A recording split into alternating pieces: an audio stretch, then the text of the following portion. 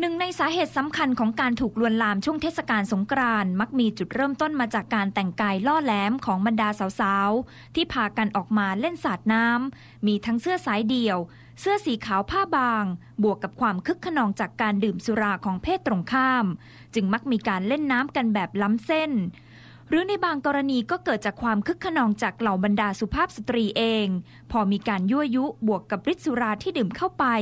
ก็เกิดความกล้าในทางที่ผิด อวดโชว์รูปร่าง จนบางครั้งถึงขั้นโชว์อนาจาร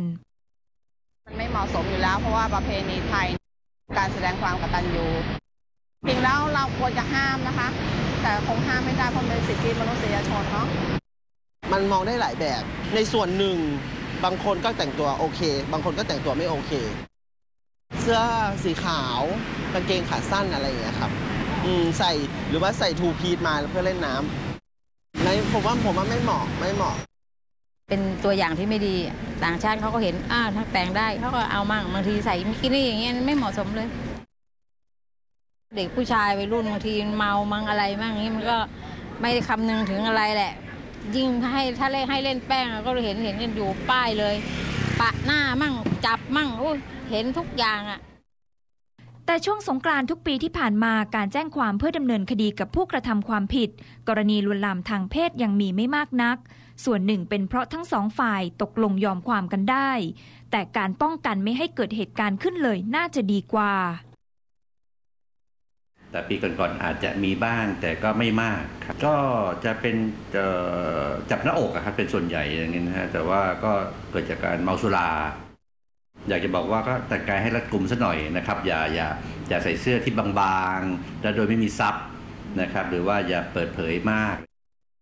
การรัดรูปหรือความบางของเสื้อผ้ามันก็ทำให้นะฮะเกิดเกิดจินตนาการได้หลายอย่างนะครับถ้าถ้าอยู่หมู่มากก็ อาจจะปลอดภัย แต่ว่าถ้าเกิดต้องต้องเดินกลับบ้านหรือกลับไปที่ที่ที่เปี่ยวหน่อยเนี่ยมันก็อาจจะเกิดอันตรายได้นะจึงเป็นที่มาว่าในช่วงเวลาหลายปีที่ผ่านมา หน่วยงานทั้งภาครัฐและเอกชน มักจะมีการออกมารณรงค์เล่นน้ำสงกรานอย่างปลอดภัย นอกจากปลอดภัยจากอุบัติเหตุบนท้องถนนแล้ว ยังปลอดภัยต่อการถูกละเมิดสิทธิ์ จนมาถึงปีนี้กับแนวคิดการรณรงค์แต่งชุดไทยเล่นน้ำสงกรานต์จึงถูกหยิบยกขึ้นมา เพื่อเชิญชวนร่วมอนุรักษ์ประเพณีเล่นน้ำสงกรานต์สืบสารวัฒนธรรมไทยแบบดั้งเดิม ไม่ใช่เพียงการสาดน้ำเพื่อความสนุกสนานเพียงอย่างเดียว ธนัชพักเมืองชู ข่าวจริงสปริงนิวรายงาน